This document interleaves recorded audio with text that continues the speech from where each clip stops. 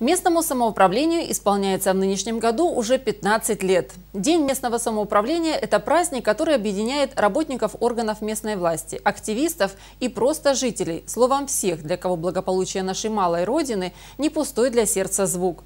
Мы побывали в Доме культуры Барониковском, где состоялось праздничное мероприятие холле Дома культуры участники празднования со всего Славянского района смогли познакомиться с выставкой изделий народных умельцев, с экспозицией, рассказывающей о жизни поселения. К представителям органов местного самоуправления жители приходят за решением своих многочисленных проблем и находят понимание и содействие.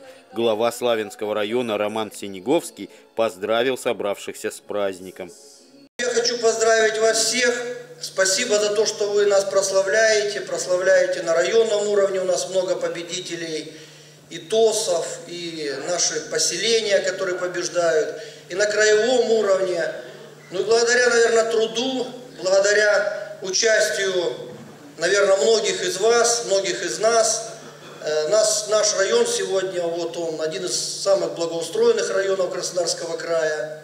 Эм, город Славянск на Кубани не, не один раз занимал лидирующие места. За большой вклад в развитие местного самоуправления благодарностью губернатора Краснодарского края были награждены главы Анастасиевского, Забойского и Коржевского поселений. Благодарственным письмом главы Славянского района отмечены многие сотрудники администрации района, поселений, жилищно-коммунального хозяйства, территориального общественного самоуправления – Лучшие творческие силы Славянского района порадовали собравшихся своими песнями и танцами.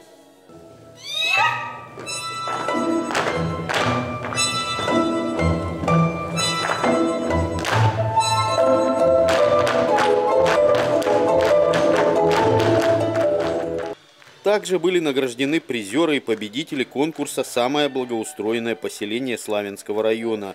Первое место в номинации «Поселение от трех с половиной тысяч жителей» заняло прибрежное сельское поселение.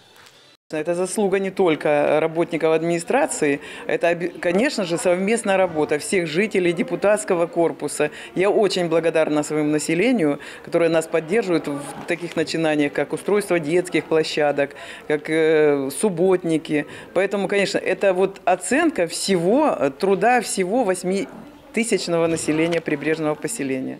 Благодаря добросовестным и квалифицированным работникам местного самоуправления жизнь в нашем районе и дальше будет становиться комфортнее и благоприятнее для его жителей.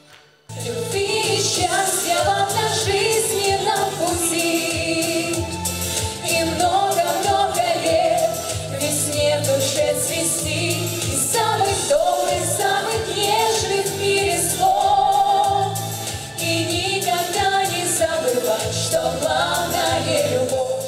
Андрей Вишневский, Александр Косицын. Программа «События».